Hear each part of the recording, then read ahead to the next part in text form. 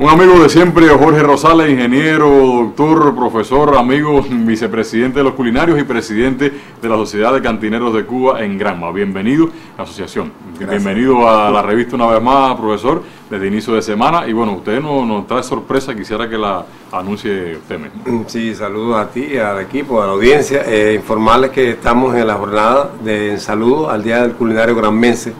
Es una jornada que se desarrolla cada año en los primeros 10 días del mes de junio, porque esta provincia tiene, esta asociación ha tenido muchas iniciativas, entre ellas dedicar una jornada en el año para eh, homenajear el trabajo que hacen los culinarios nuestros, tan anegado, tan importante, Así es. tan incondicional, de tanta entrega. Y entonces nada, se acordó hace mucho tiempo que fuera el 10 de junio y ese día pues hacemos una actividad central.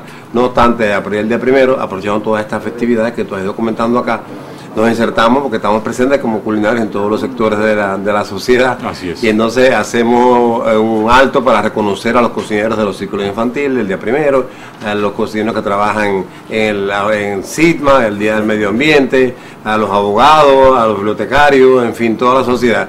Y el día 10 pues, vamos, vamos a tener el, el, plato fuerte y aprovechamos para informar a todos, a todos los culinarios, a todos los directivos de la actividad gastronómica de la provincia.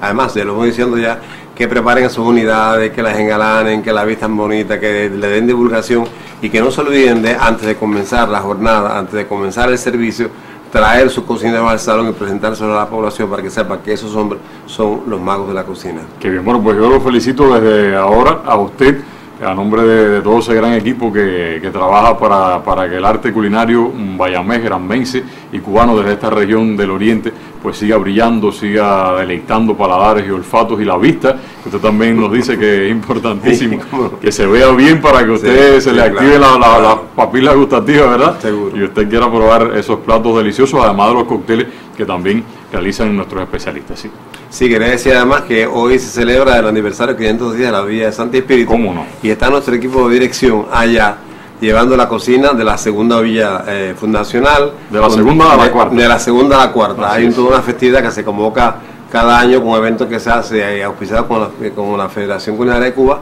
que se llama Sabor a las Villas. Y estamos todas las villas hoy reunidas en espíritu y entre ellas la nuestra, de lo cual vamos a tener detalles seguramente la semana que viene. Qué bien, bueno, pues entonces le esperamos y la felicitación reiterada. Esperamos que ese día, el día 10, no sé qué, cae de la lunes, semana. Lunes, cae lunes. Bueno, si ustedes quieren venir, pues vengan. Ya. Siempre son bienvenidos.